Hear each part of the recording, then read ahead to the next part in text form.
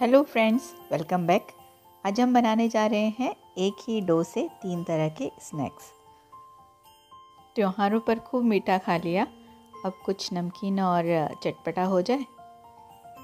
तो हम आज एक ही डो से बनाने जा रहे हैं तीन तरह के स्नैक्स तो चलिए शुरू करते हैं। यहाँ मैं ले रही हूँ आधा किलो मैदा। चलिए इसे पहले छान लेते हैं। एक छलनी ले ली है मैंने और उसमें थोड़ा थोड़ा करके इसे छान लेंगे। छानने से क्या होगा? इसके अंदर एयर बन जाएगी, जिससे जो हमारे स्नैक्स हैं वो बहुत ही सॉफ्ट बनेंगे और खस्ता बनेंगे।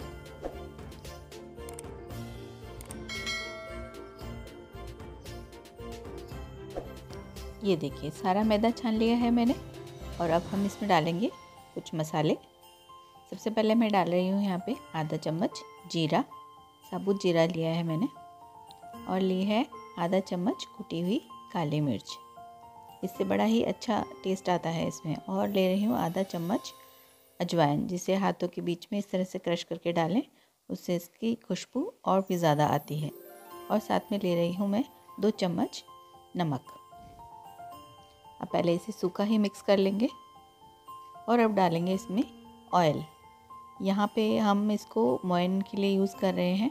तो ये मैंने पहले एक चौथाई कप ही डाला है। देखिए इस तरह से मिक्स करेंगे इसको हाथों से। और अब एक चौथाई कप में और डाल रही हूँ। टोटल मैंने यहाँ पे आधा कप तेल डाला है। मोइन आप इतना डालें कि आ, अच्छी तरह से ये जब हम इसको हाथों में लेकर के बांधें तो ये अच्छे से बन जाए। इस तरह से देखिए इस तरह से बन जाना चाहिए। इतना हमें इसमें मोइन डालना है। और अब मैं एक गिलास पानी ले रही हूँ और इसे हम गूँधेंगे आटा हमें ऐसे गूँधना है जो ना तो ज़्यादा ही नरम हो और ना ही ज़्यादा सख्त हो। यानी कि सेमी सॉफ्ट हमें आटा गूँधना है ताकि हमारे जो आ, स्नैक्स हैं वो बहुत ही खस्ता बने। देखिए इस तरह से हमने देखिए सेमी सॉफ्ट आटा गूँध लिया है। और इस पर थोड़ा सा तेल लगा देंगे और इसको कुछ देर के लिए हम ढक देंगे। ताकि ये अच्छे से सेट हो जाए आटा। ढक दिया है मैंने और देखिए यहाँ पे तीन चौथाई गिलास ही हमारा यूज़ हुआ है। अब एक बोल में मैंने दो चम्मच कॉर्नफ्लावर लिया है और दो चम्मच ही इसमें डालेंगे तेल। ये एक हम स्लैरी बना रहे हैं हमारे स्नैक्स के बीच में लगाने के लिए। इस तरह से दोनों को मिक्स कर लेंगे हम। एक लेप की तरह बनाएँगे इसे बस। देखिए सारे इसके जो लम्स हैं वो निकल जाने चाहिए। ये देखिए, हमारा आटा भी बिल्कुल सेट हो चुका है। चलिए, एक बार फिर इसको हल्के हाथों से मल लेते हैं, ताकि हमारा जो डो है वो बहुत अच्छे से तैयार हो जाए। ये देखिए, ना तो ज़्यादा सॉफ्ट है, ना ही ज़्यादा टाइट है। चलिए, अब मैं इसके दो पोर्शन कर रही हूँ। एक ज़्यादा, थोड़ा ज़्यादा लिया है मैंने और एक थोड़ा कम लिया है, क्योंकि हमें तीन स्नैक्स बनाने हैं और जो बाकी है उसको हम ढक करके साइड में रख देंगे। और अभी जो पोर्शन लिया है मैंने, इसकी हम छोटी छोटी सी लोयाँ बनाएँगे। क्योंकि हमें उसके लिए पुड़ियाँ बनानी है, ये देखिए। इस तरह से हमें एक पोर्शन लेना है, इतनी छोटी छोटी हमें इसकी लोहियाँ बनाएँगे। तो इस तरह से पहले मैं सारी तोड़ के रख लेती हूँ। देखिए। इस तरह से आपको छोटी छोटी बनानी है। देख, मैंने सारी तोड़ ली हैं। अब इसको हाथों में लेकर एक पेड़ा बनाएँगे और इसकी एक पुड़ी बेलेंगे हम। ये देखिए, इस तरह से। पतली पतली बेलनी है, ज़्यादा मोटी नहीं करनी है, क्योंकि हमें उसकी लेयर्स बनानी है तो जितनी पतली हो सके आपको उतनी पतली पुड़ियाँ बेलनी है इसकी। ये देखिए, इस तरह से।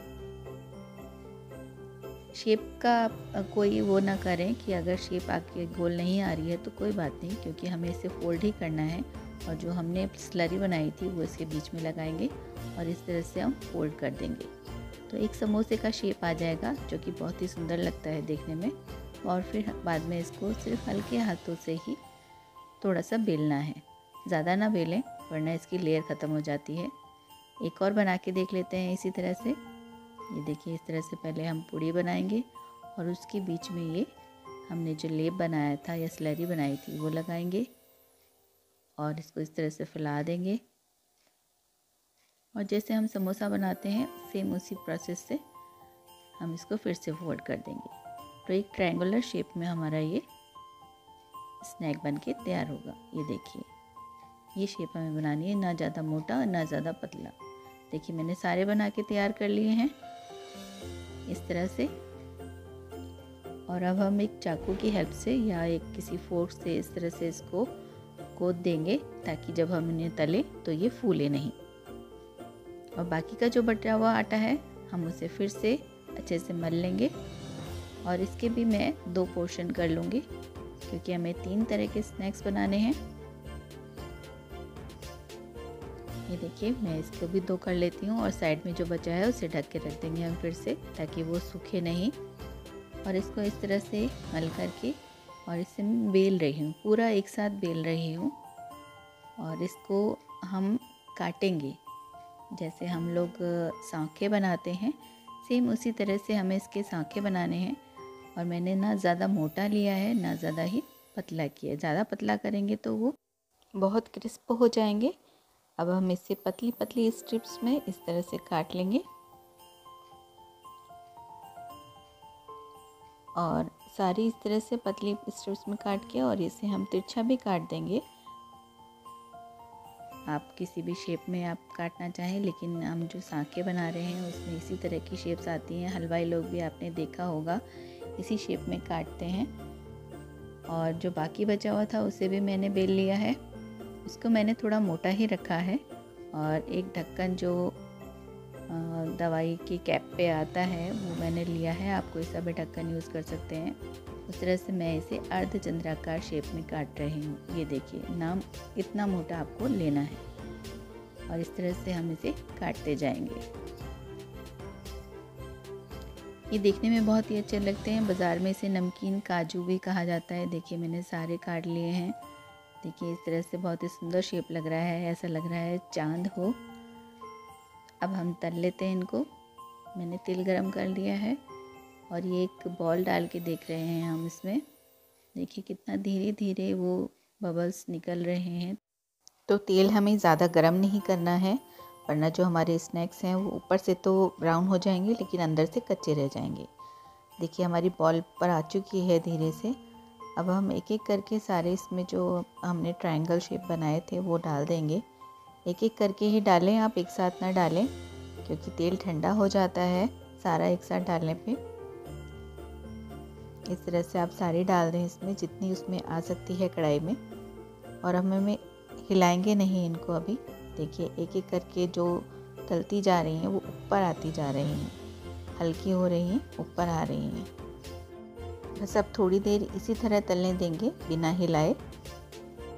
बिल्कुल लो फ्लेम पर ही तलना है इन्हें हमें। ज़्यादा तेज़ फ्लेम पर नहीं तलेंगे। धीरे धीरे इनको हिला लेंगे या पलट लेंगे, ताकि नीचे ना चिपके। और अब हम इन्हें गोल्डन ब्राउन होने तक तलेंगे।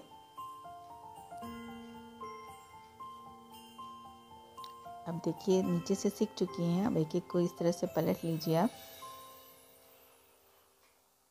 ताकि ये दोनों तरफ़ से अच्छी तरह से तल जाएँ। आप देख रहे हैं किस तरह से लेयर निकल के आ रही है। देखिए गोल्डन ब्राउन हो चुके हैं। चलिए हम इन्हें निकाल लेते हैं। बहुत ही अच्छा कलर आ गया है इनमें। और इस तरह से लो फ्लेम पर धीरे धीरे तलने से इसमें बहुत ही अच्छा कलर भी आता है और बहुत ही खस्ता बनती हैं हमारी स्नैक्स। देखिए, सारी तल करके तैयार कर ली हैं मैंने। चलिए, अब दूसरी भी निकाल लेते हैं इसी तरह से। बाकी बची हुई जो हमारे ट्रायंगल शेप्स हैं या ट्रायंगल पपड़ियाँ, आप जो भी इसे नाम देना चाहें, वो भी हम इसी तरह से निकाल लेंगे।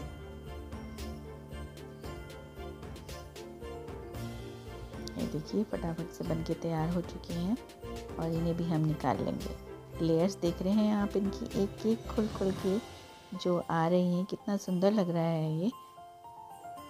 चलिए, ये भी तैयार हो गया और हमारे जो साखे हैं, उन्हें भी तल लेते हैं। नहीं तो तेल ज़्यादा गर्म हो जाएगा। पूरे त्योहारों के सीज़न में अगर आप मीठा खा खा के बोर हो चुके हैं तो कुछ नमकीन खाने की या चटपटा खाने की इच्छा होती है तो आप इस तरह से एक ही डो से तीन तरह के स्नैक्स बना सकते हैं। आप चाहें तो आ, इन्हें मॉर्निंग ब्रेकफास्ट में भी खा सकते हैं या फिर शाम को चाय के साथ भी इन्हें खा सकते हैं बहुत ही टेस्टी लगते हैं। चलिए इन्हें हिला लेते हैं हम। देखिए अब सारे ऊपर आ चुके हैं तैर करके। इन्हें हिला लेते हैं ताकि सभी तरफ़ से अच्छे से तल जाए। इन्हें भी गोल्डन ब्राउन कलर आने तक हम तलेंगे। कुछ लोग इन्हें हल्के कलर में ही खाना पसंद करते हैं। ज़्यादा ब्राउन कलर नहीं अच्छा लगता है उन्हें, लेकिन वो खस्ता तो बनते हैं, लेकिन नरम रहते हैं। और जब हम ब्राउन कलर होने तक इन्हें तलते हैं तो वो बहुत ही क्रिस्पी और खस्ता भी बनते हैं। तो हमेशा जब भी आप तलें तो इन पर हल्का ब्राउन कलर आने तक ही इन्हें तलें, वो ज़्यादा ही अच्छे लगते हैं। ये भी हमारे तैयार हो चुके हैं, इन्हें भी निकाल लेते हैं। देखिए अच्छा कलर आ गया है इनका भी। और बाकी जो हमने अपने बनाए थे नमकीन काजू के लिए जो हमने काजू का शेप में बनाए थे, उन्हें भी तल लेंगे अब लास्ट में। ठीक है, जब तक ये तल कर तैयार होते हैं, हम इनके लिए मसाला बना लेते हैं। यहाँ एक बोल में मैंने लिया है आधा चम्मच नमक। और आधा चम्मच काला नमक। और इसके साथ हम लेंगे आधा चम्मच ही चाट मसाला पाउडर और आधा चम्मच लेंगे लाल मिर्च का पाउडर। आप चाहें तो इसमें काली मिर्च का पाउडर भी डाल सकते हैं, लेकिन हमने अपने डो में भी डाला था काली मिर्च, इसलिए नहीं डालेंगे। और इसे एक तरफ़ रख लेते हैं और ये देखिए, काजू भी हमारे बन के तैयार हो चुके हैं। इन्हें भी निकाल लेंगे। देखिए कितनी सुंदर शेप लग रही है। और इन्हें निकाल लेते हैं एक बर्तन में और फटाफट से गरम गरम में ही हम ये मसाला इनमें मिक्स कर देंगे। ये देखिए, सारा तरफ़ इसको मिक्स कर लेंगे अच्छे से। और देखिए, ये हमारे चटपटे काजू बनके तैयार हैं। तो फ्रेंड्स सारे हमारे स्नैक्स तैयार हो चुके हैं। ये देखिए, ये हमारे चटपटे काजू और ये हमारे नमकीन लंबे लंबे सांखे जो कि चाय के दोस्त कहे जाते हैं। और ये हमारी पपड़ियाँ ट्रायंगुलर पपड़ियाँ। और देखिए, कितनी सुंदर लेयर्स बन के आ रही हैं अलग अलग खिलके। और खस्ता कितनी है, आप देखिए। तोड़ते ही कितनी अच्छे तरह से बिखर रही है। ये देखिए, बहुत ही टेस्टी बन के तैयार होती हैं आप कब बना रहे हैं ये, ज़रूर मुझे कमेंट करके बताइएगा। तो चलिए मिलते हैं फिर नई रेसिपी के साथ।